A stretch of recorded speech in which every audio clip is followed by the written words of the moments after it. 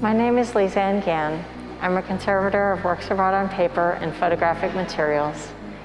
And today we're going to be discussing and showing you parts of the treatment of an Orotone by Polly Smith, which is part of the public art collection of the City of Dallas.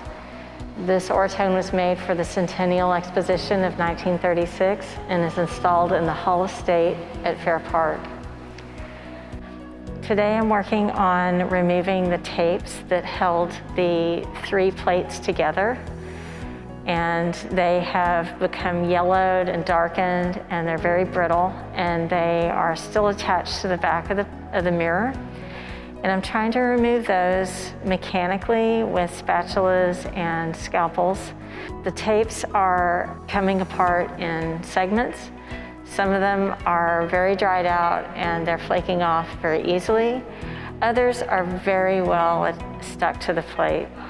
I'm having to go in and remove the plastic. And each time I progress, I have to step back, take a look at what's happening, maybe change tools, change my technique, and evaluate. So it's a constant process of adaptation during the treatment.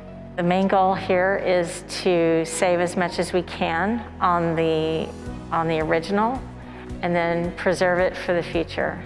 So we're going to go ahead and allow that to be removed and then we're going to make a fill material later that will maintain the same appearance but not absorb into the back of the piece. We're getting ready for the next step and that's going to be removing the residual adhesive on the front of the image bearing plate with solvent and a small swab. I've also prepared a backing board uh, with silver mylar and four ply rag board to serve as a non-invasive fill for losses in the mirror layer. We don't want to attach or apply anything to the mirror itself that could cause problems down the road. Um, that's part of our preventive conservation approach. And we want to be sure that we remain within the guidelines of, of treatment. So in the final phase of the treatment, we're going to position the plate uh, so that we can reseal the three plates together.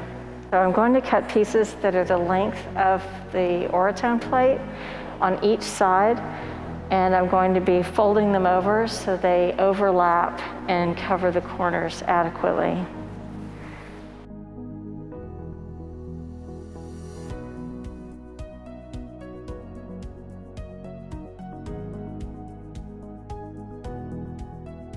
So the final phase of treatment is complete.